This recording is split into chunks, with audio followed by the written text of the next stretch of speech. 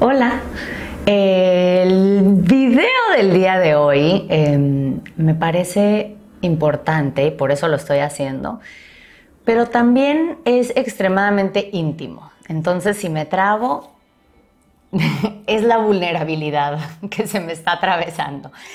Es un video sobre la depresión. No tanto sobre la mía, pero también sobre la mía pero de las cosas que he aprendido sobre la depresión y de algunos consejos de lo más práctico, de lo que más siento que me ha sacado de los momentos más profundos y más oscuros. Entonces, aunque en estos tiempos modernos de redes sociales soy fiel creyente que hay cosas que no tenemos que compartir con el mundo, creo, sobre todo en mi caso, que las que sí pueden ayudar a otras personas, eh, sí las debo compartir. Como que ese es mi deber para con ustedes.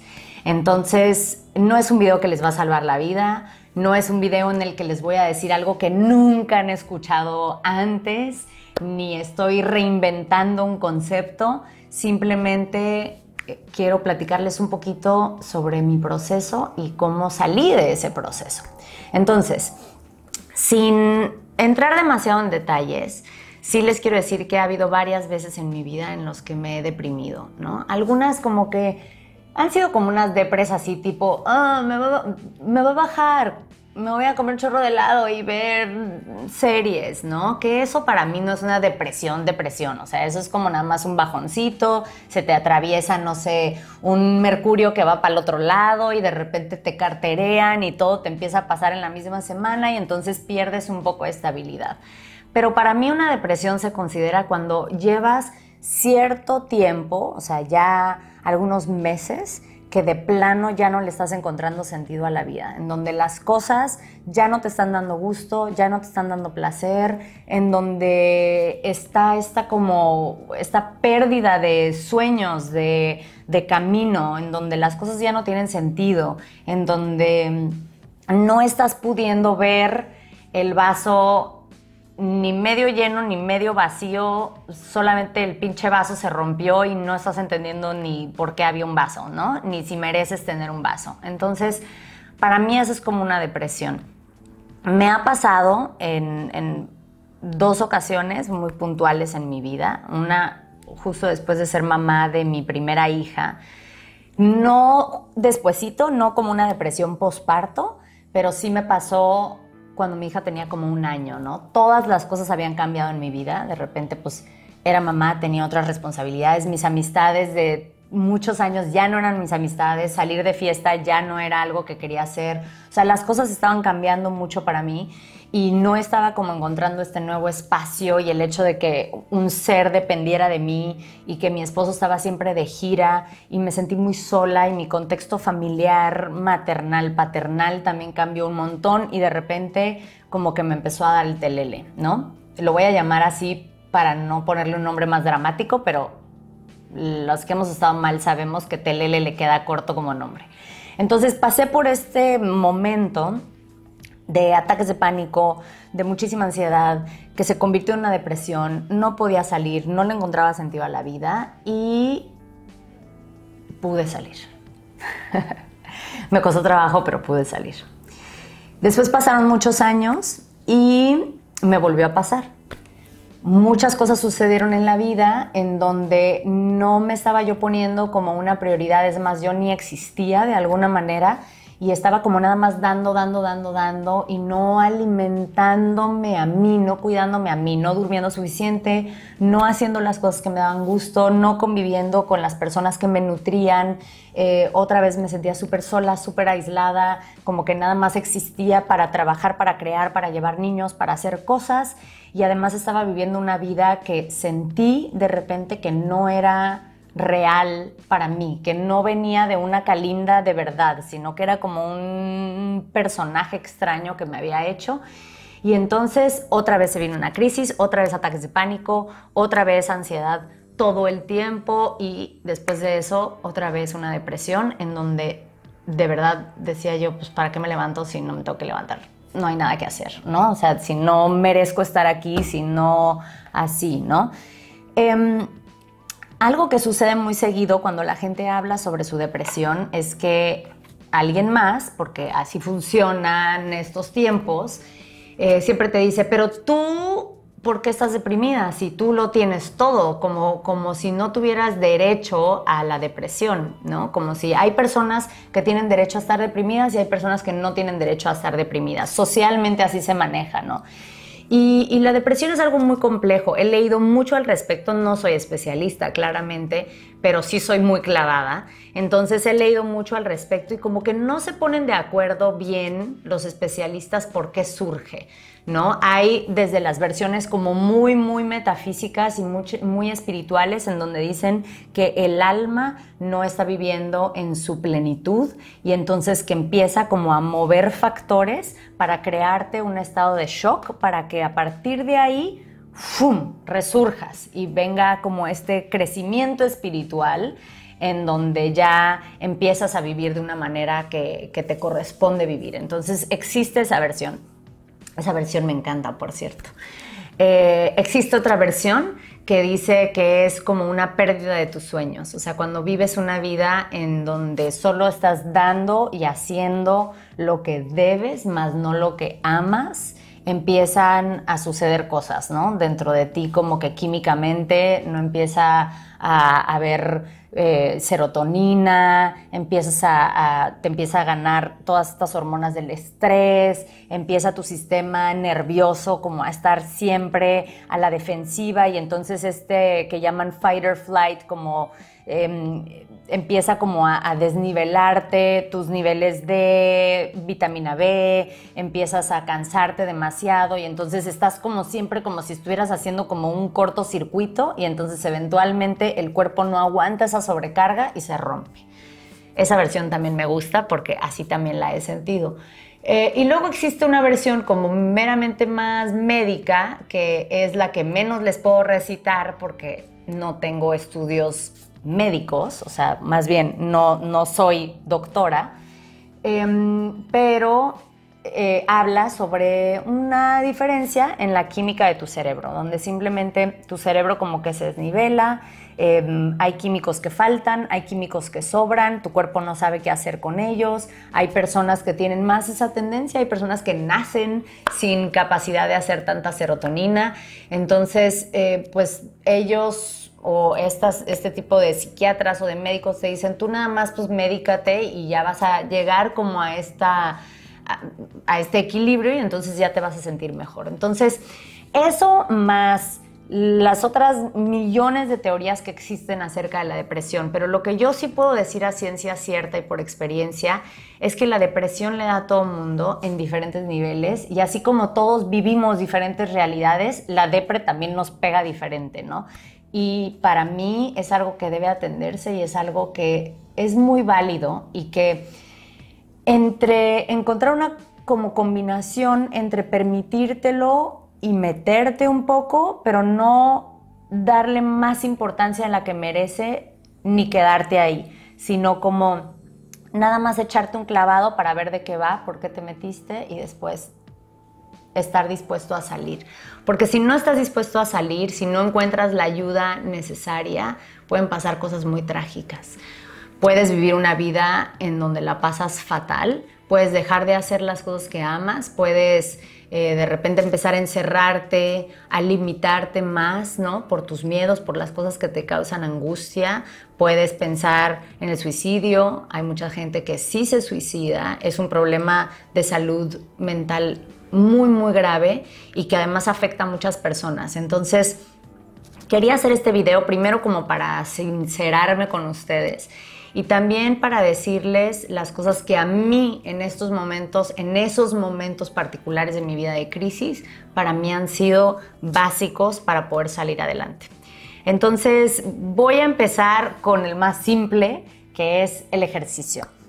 El ejercicio, hay muchísimos estudios científicos que hablan sobre los beneficios del ejercicio, porque empiezas a crear dopamina, porque tu corazón se acelera y entonces te empiezas a activar, porque muchas veces requiere salir de tu casa, aunque también lo puedes hacer en tu casa, pero simplemente está como esta energía de bienestar después de hacer ejercicio, desde la parte física, pero también desde la parte emocional y desde la parte como psicológica, ¿no? Porque cuando ya tienes como un régimen de ejercicio y empiezas a notar cambios en tu cuerpo, ya sea que te sientes un poco más fuerte, que una vez pudiste hacer un push-up y un mes después puedes hacer cinco, entonces como que esa autoestima de voy mejorando, me voy haciendo más fuerte, es muy importante para contrarrestar ese sentimiento de no valgo nada, nada vale la pena. O si las personas que tienen sobrepeso em, empiezan un régimen de alimentación o empiezan a hacer cardio y empiezan a bajar en medidas y se empiezan a ver al espejo mejor,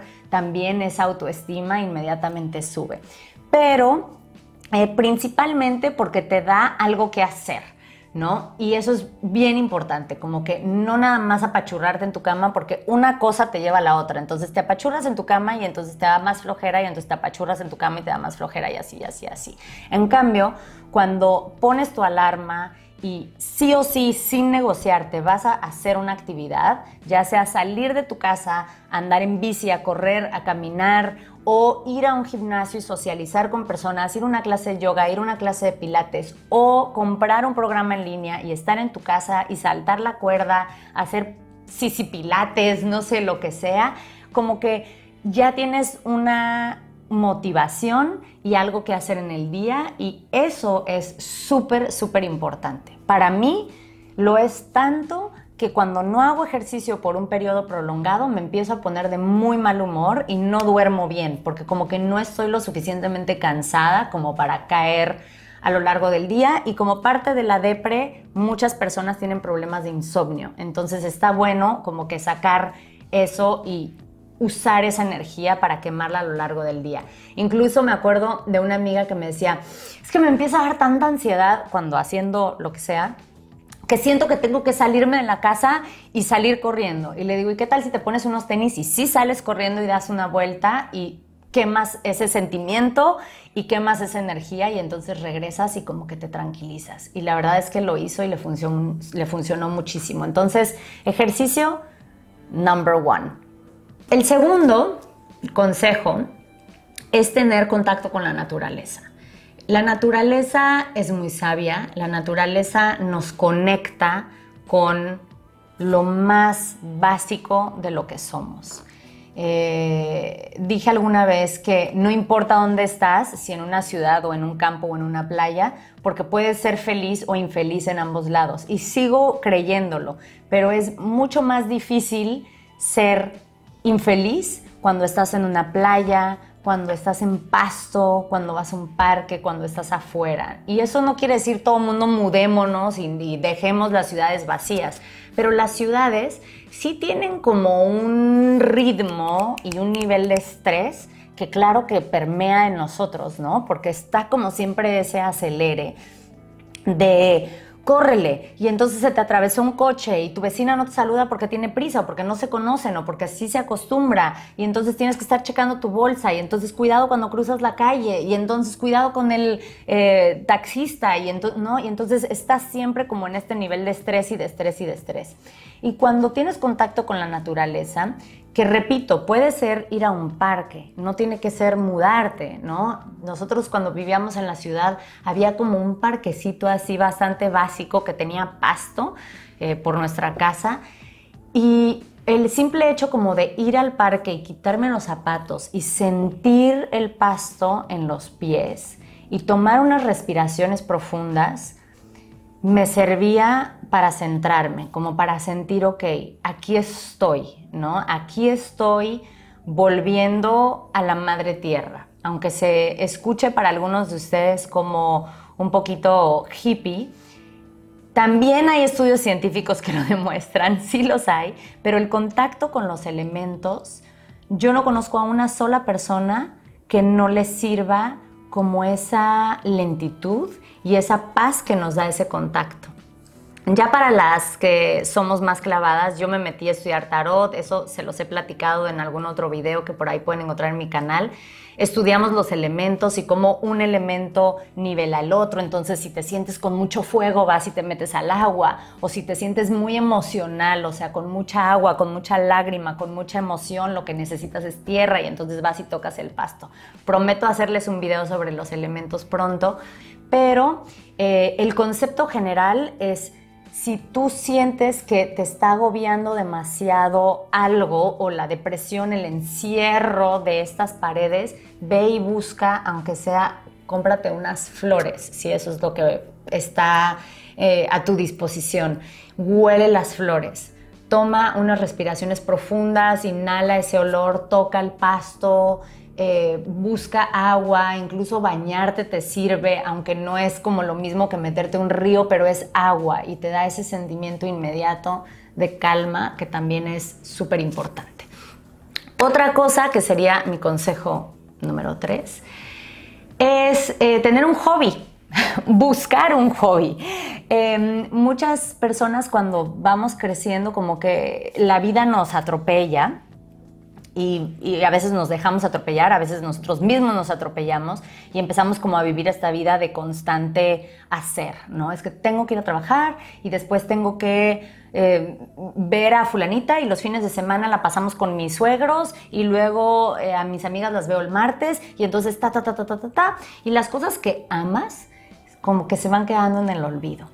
Y a mí lo que me pasó también es que ya no tenía tiempo para hacerlas y llegó un momento en donde ya no sabía cuáles eran.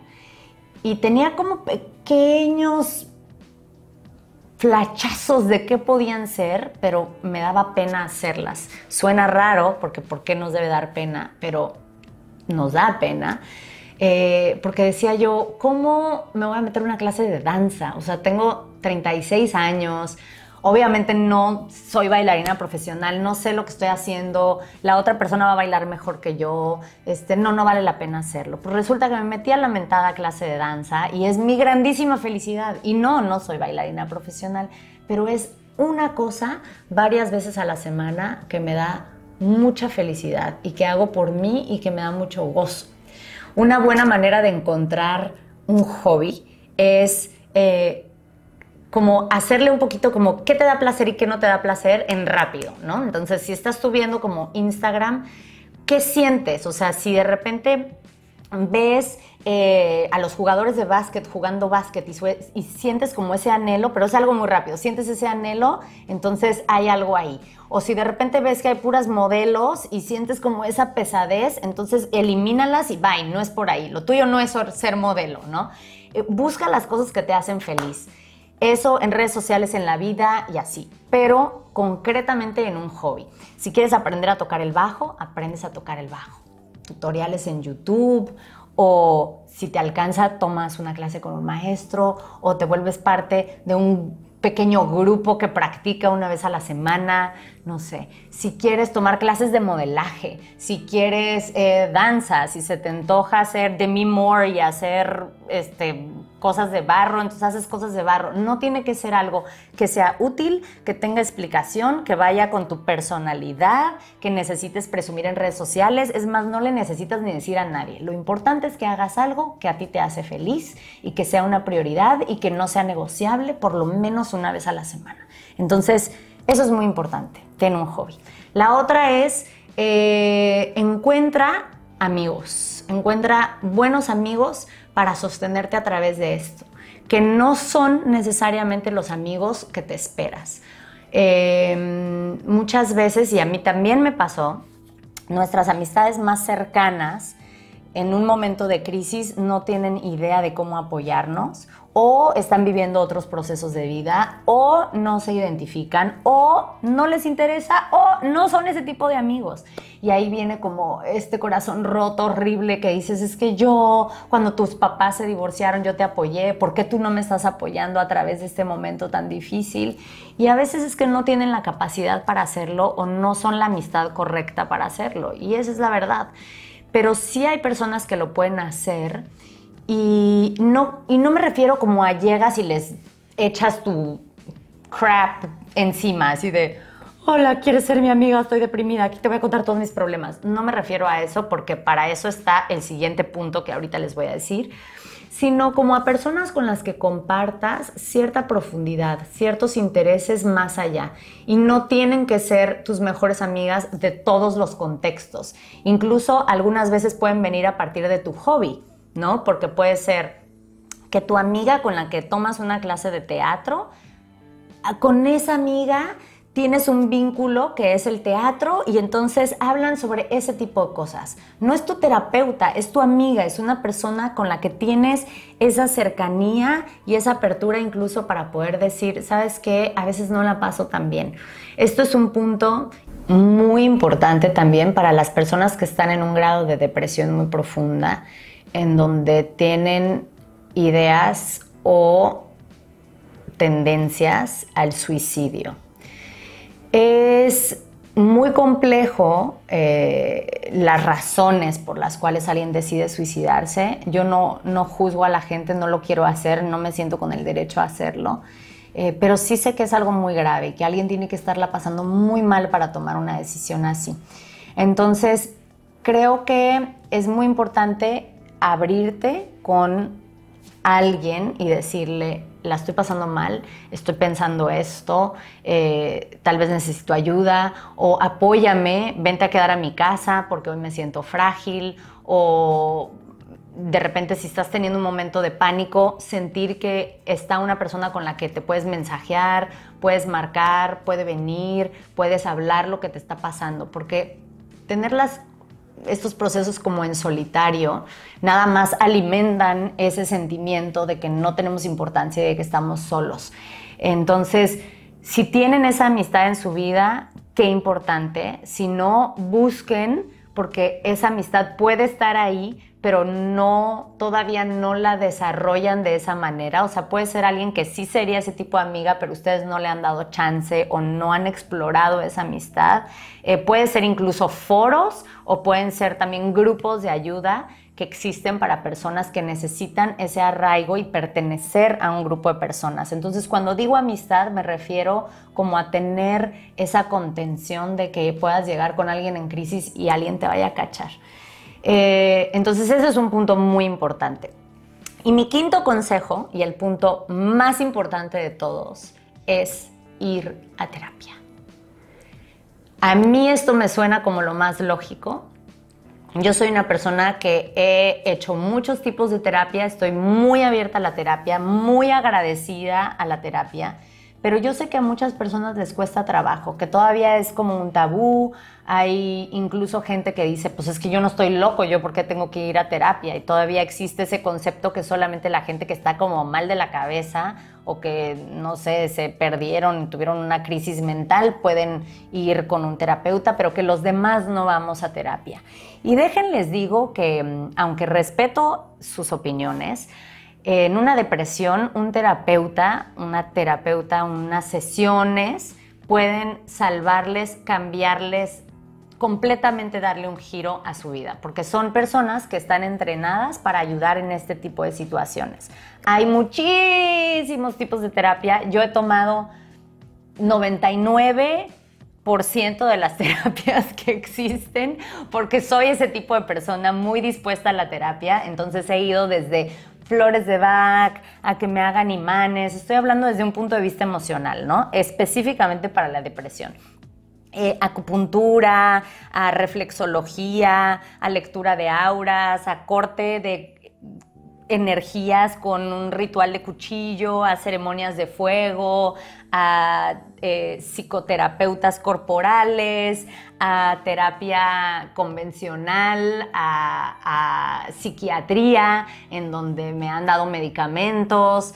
He ido de verdad a todo. Programación neurolingüística, meditaciones profundas, de verdad de todo. Y todas esas terapias, todas, todas, todas las que mencioné, me han aportado algo, me han dado herramientas para solucionar algo que en su momento necesitaba solucionar. Me han ido dando em, mucho autoconocimiento para seguir trabajando en mí y principalmente me han podido liberar de algunas de esas cosas que venía cargando que ni siquiera asumía que las venía cargando. Entonces, eh, la terapia es muy importante. Me escriben muy seguido muchas de ustedes para decirme, es que estoy teniendo ataques de pánico, es que me siento una depresión bien profunda, es que me estoy separando, me está pasando esto, hay una infidelidad en mi matrimonio, mis hijos son adolescentes, no me hallo, no sé qué hacer de mi vida, tal, tal, tal, tal, tal, estoy en una crisis profundísima, Calinda, ¿qué tengo que hacer? Y cuando les contesto y les digo, bueno, para empezar tienes que ir a terapia y después a partir de ahí vas a ir construyendo qué hacer. Eh, a veces ni siquiera me vuelven a contestar porque sé que terapia no es una opción. Hay terapias de todos los presupuestos. Hay, de verdad hay terapias que cuestan 100 pesos. Hay terapias que, los especialistas dan como pro bono, o sea, como para poder aliviar a la gente que no tiene los recursos para pagar una terapia. Eh, y hay terapias carísimas, hay terapias de todo tipo. Hay especialistas que son muy buenos en todas esas ramas que les dije. Entonces está bueno ir probando hasta que encuentren a alguien con quien hagan clic y con quien sientan la apertura de poder comentar las cosas que les están sucediendo o que vaya con su estilo de personalidad también. Cualquier cosa es válida, pero vayan a buscar ayuda profesional, porque de verdad la depresión es algo serio y sí necesita ser atendida. No es nada más como que un día ya te vas a despertar de buenas, porque están demasiadas cosas entrelazadas ahí dentro. Entonces, eso era lo que les quería decir y compartir, que son como mis salvadores dentro de estos procesos de irme al hoyo y de resucitar cual fénix. Gracias por ver mi video. Eh, les deseo lo mejor y les mando muchísimos besos. Adiós.